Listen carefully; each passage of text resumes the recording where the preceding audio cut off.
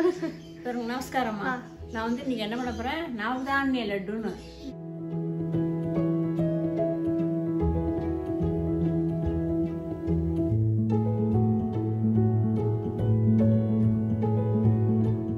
நவதானிய லட்டுன்னு அது பாருங்க. நைன் இருக்கும் சொல்லு. ஆ? நவதானினா நைன் சொல்லு. ஒன்பது ஒன்பது தானியம். ஒன்பது தானியம். தானியம்னா? தானியம்னா விதை. இந்த இதருங்க எனக்கு தெரிஞ்ச வரைக்கும் நான் பண்றேன். ஏன்னா எனக்கு நவதானியங்கள்லாம் நான் அவ்வளோ தூரத்துக்கு நான் சமைக்கல மாட்டேன். ஒருத்தர் கேட்டு இருந்தா நவதானிய லட்டு பண்ணி பா பண்ணி காட்டுங்க பண்ணி காட்டுங்கன்னு சொல்லி இருந்தா அதனால நானா இதை ட்ரை பண்றேன் நவதானியன்ட்டு நானா சொல்றேன். இது மாத்திருந்தா நீங்க மாத்திங்க. இது பாருங்க கேழ்வரகு பாருங்க எல்லாம் இதால ஒரு ஒரு கண்டு. என்ன இது பண்ணினா எல்லாருக்கும் பிடிக்குமா பிடிக்காதான்னு தெரியாதே எனக்கு? அதனால யோஜனையா இருக்கு இல்லையா? அதனால இதால ஒரு கரண்டி எல்லாம் ஒரு ஒரு கரண்டி எடுத்து வச்சிருக்கேன். இந்தாருங்க. கேழ்வரகு கடலை பாதாம் முந்திரி பிஸ்தா பயறு பொட்டுக்கல்ல சம்பா கோதுமை எள்ளு. இது பாயில்டா பாயில்டு இல்லையா இல்ல இல்ல இது அப்படியே பாபா எல்லாம் வறுக்கணும் அப்போ தனித்தனியா. இது த்ரீ இது four five six seven eight nine இதாருங்க எள்ளு. தண்ணியில ஊற வச்சு வடிகட்டி வச்சு எவ்வளோ ஊற வச்ச? இது சித்திரை ஒரு அலமை அலசினா போதும் அலசி இதை தண்ணியை வடிகட்டி வச்சுக்கேன் இது என்ன பண்ணணும் இப்போ எல்லாத்தையும் தனித்தனியாக பொரிக்கணும் பொரிக்கணும்னா வறுக்கணும். சவக்க. ஒன்று எல்லாத்தையும் தனித்தனியாக வறுத்து மிக்சியில் போட்டு அரைச்சு வெள்ளத்தை சீவி போட்டு முந்திரி பருப்பு இதெல்லாம் போட்டது வேண்டாம்னா வேண்டாம். வேணும்னா முந்திரி பருப்பு திராட்சை தாளிச்சு கொட்டி நெய்யை விட்டு பிடிக்கணும். அவ்வளோதான் வேலை இல்லை. நான் இப்போ என்ன பண்ணுறேன் எல்லாத்தையும் வறுத்து உங்களுக்கு காட்டுறேன்.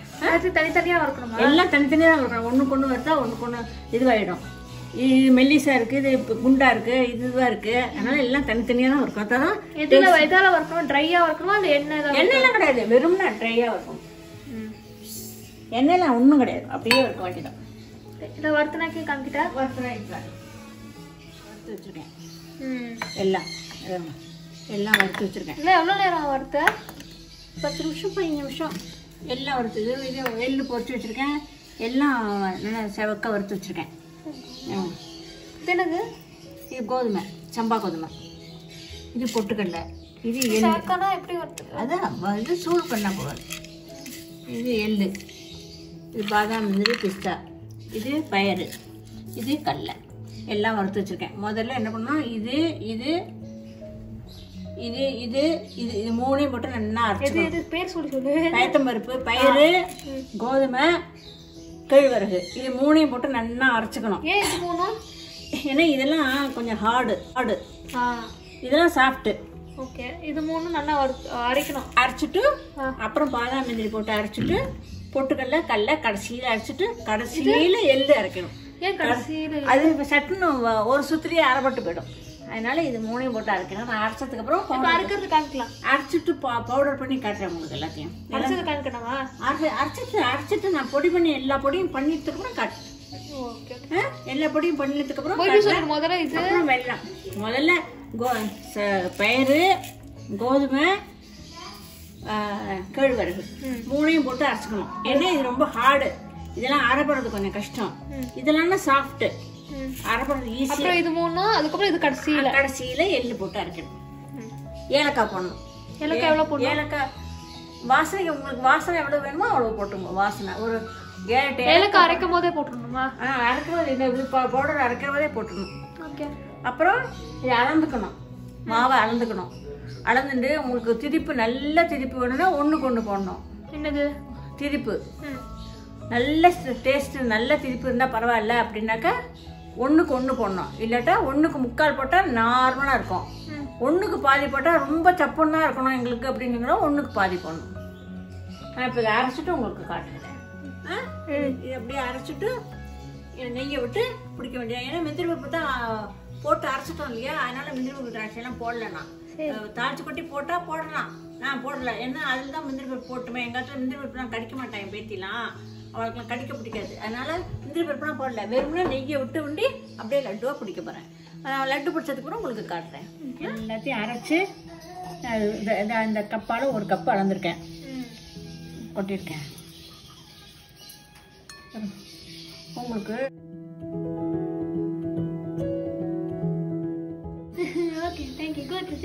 உங்களுக்கு நல்ல ஸ்வீட் வேணும்னா இது பண்ணலாம். அது பாருங்க நான் போடுற திட்டத்தை நீங்கள் போட்டேன்னா உங்களுக்கு டேஸ்ட்டும் நல்லா இருக்கும்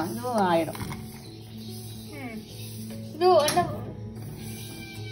இந்த போட்டே வச்சுக்கோ. திகட்டவும் திகட்டாது. நிறையாவும் சாப்பிடலாம். உடம்புக்கும் ஒன்றும் பண்ணாது. ஒன்று போட்டிருக்கேன் அரைக்கி கொஞ்சம் அதிகமாக போட்டிருக்கேன். பாருங்க இதை போட்டு நல்லா கலக்கணும். இது என்னது? வெல்லம். வெள்ளை சர்க்கரையே இருந்தது. வெள்ளம் இடிக்கிறதுக்கு அலுப்பு. இது வெள்ளை சர்க்கரை. Powder chocolate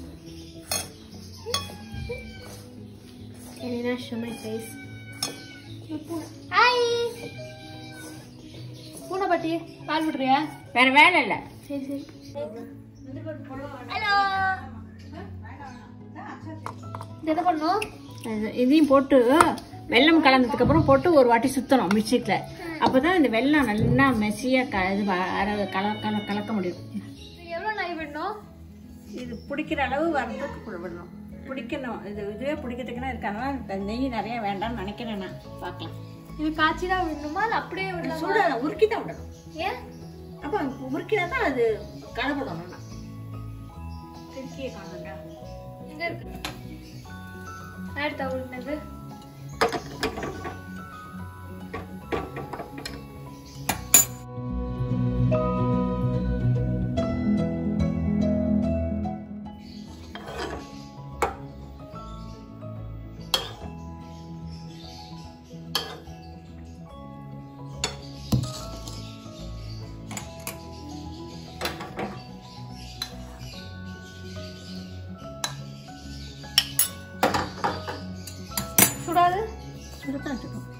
வச்சு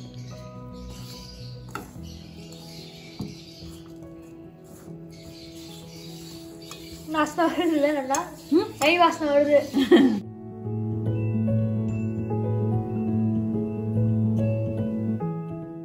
கோவில் பிரசாதம் மாதிரி வந்துருக்குற ஆ? ஆ?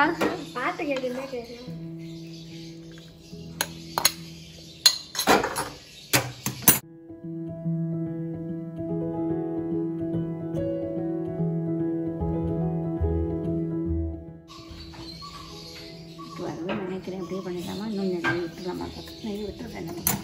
எனக்கு கையை எடுத்து எனக்கு பிடிக்க முடியாது. கையில் அவ்வளோ தெம்பு இல்லை. முன்னாடிலாம் நிறைய லட்டு பண்ணியிருக்கேன் நான். ம். இப்போனா கை அழுத்தி பிடிக்க முடியல. அதனால கொஞ்சம் நெய்யை நிறைய விட்டு பிடிச்சிடுறேன் நான்.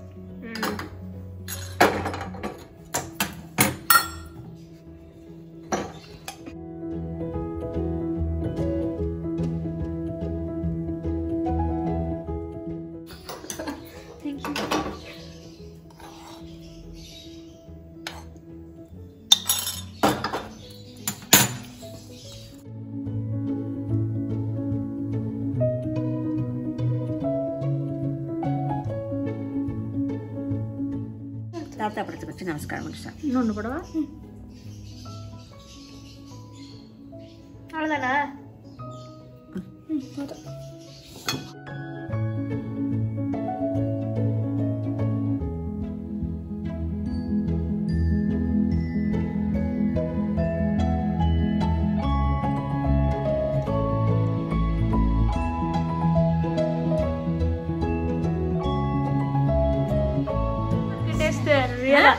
டேஸ்ட் நல்லா இருக்கு பாரு. எல்லாம் எடுத்து வச்சேன். ஒம்பது சம ஒம்பது பருப்பு எடுத்து வச்சேன். எல்லாத்தையும் நான் தனித்தனியாக செவக்க வறுத்துண்டு அப்புறம் கோதுமை பயிறு ஆ, கேழ்வரகு மூணையும் முதல்ல நன்னா அரைச்சிண்டு அதுக்கப்புறம் கடல முந்திரி பருப்பு பாதாம் அதெல்லாம் போட்டு அரைச்சிண்டு கடைசியில் எள்ளை போட்டு அரைச்சிட்டு அப்புறம் வெல்லம். ஒன்றுக்கு முக்கால். அப்புறம் குங்குமப்பூ குங்குமப்பூ ஏலக்காய். ஏலக்காய் பொடி பண்ணி தோலி உடிச்சிட்டு போட்டேன்.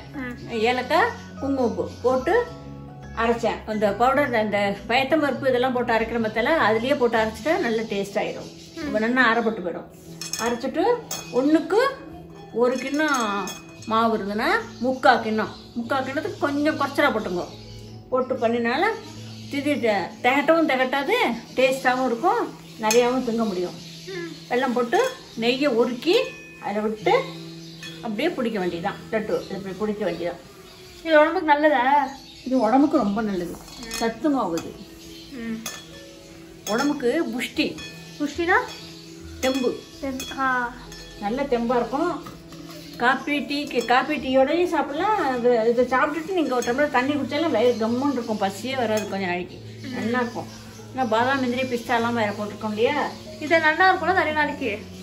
நான் எவ்வளோ நாளைக்கு நல்லா இருக்கும் இந்த லட்டு? இது ஒரு வாரம் ரெண்டு நாட்கள் வச்சுக்கோங்க. ஒரு வாரத்துக்கு மேலே வச்சுனாலும் நல்லா இருக்காது. சரி கொஞ்சம் கம்மியாக பண்ணால் போதும்.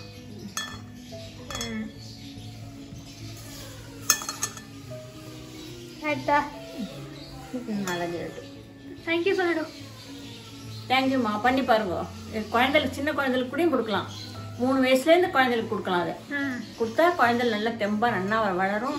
புஷ்டியாக இருக்கும். குழந்தைலாம் நல்லா விளையா விளையாட்டு விளையாடும். நல்லா இருக்கும். பண்ணி பாருங்க. நல்லா இருக்கும். தேங்க்ஸ்மா தேங்க்யூ பாய்